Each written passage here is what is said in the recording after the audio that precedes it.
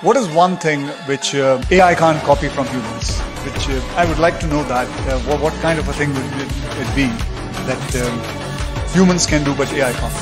And yeah, actually, it's an excellent question, and in fact, this is this is probably the single most vital question for now, which is what are, what are all the things that AI can do? What can it do? It turns out that as we speak, AI has no possibility of doing all of what we do.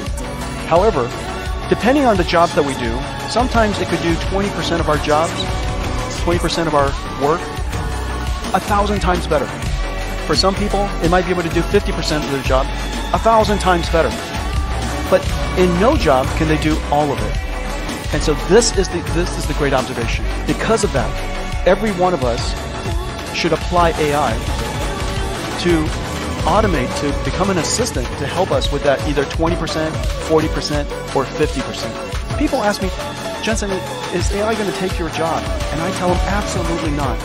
The person who uses AI to automate that 20% or 50% is going to take your job. And so the, that's right.